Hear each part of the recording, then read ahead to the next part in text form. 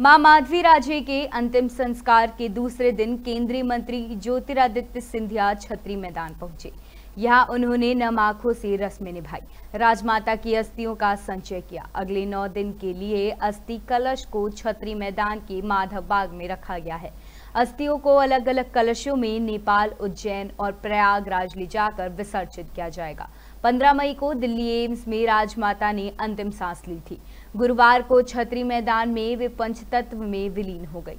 अस्थि कलश संचय के दौरान सिंधिया के बेटे, महान आर्यमन सिंधिया परिवार के करीबी लोग मंत्री, तुलसीराम सिलावट, मंत्री गोविंद सिंह राजपूत, ऊर्जा मंत्री प्रद्युमन सिंह तोमर भी मौजूद रहे। यहाँ और भी लोग पहुँचे थे, लेकिन उन्हें बाहर ही रोक दिया। राज परिवार के करीबी बाल खांडे ने बताया कि अस्थि संचय के बाद घर में शुद्धिकरण किया जाएगा और कुछ क्रियाएँ होंगी। इसके बाद सिंधिया महल में वीवीआईपी मेहमानों को आने जाने का सिलसिला शुरू हो जाएगा।